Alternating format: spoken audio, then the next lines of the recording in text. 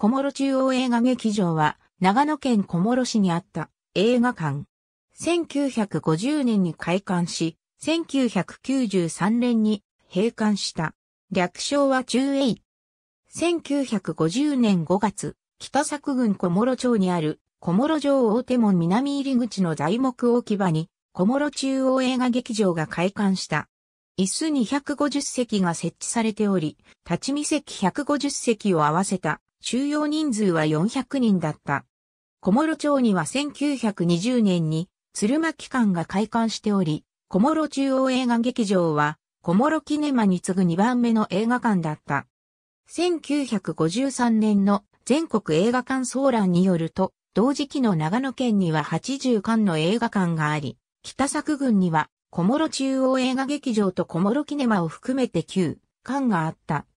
1955年の全国映画館総覧によると、同時期の収容人員は680人の小諸キネマより少ない450人だった。小諸中映でも上映したベンハー当初は東映、東宝、日活の邦画を上映していたが、小諸キネマとの競合を避けて洋画を上映するようになった。年配者はまだ字幕スーパーに抵抗がある時代であり、小諸中央映画劇場は学生などの若者に人気があった。個別の作品では、風と共に去りぬ、哀愁、ベンハーなどが特に人気があった。映画上映の他には、映画と歌謡曲を組み合わせた出し物や、東京歌舞伎や浪曲などの興行も行った。1980年の映画館名簿によると、同時期の長野県には51館の映画館があったが、北作郡域の映画館は、小諸中央映画劇場、小諸キネマ、望月町の望月川西座の三館のみだった。1985年頃には、小諸キネマが閉館。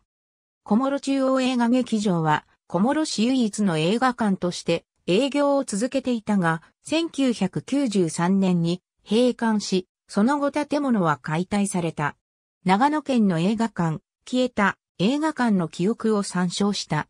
1953年の映画館、消えた映画館の記憶も参照した。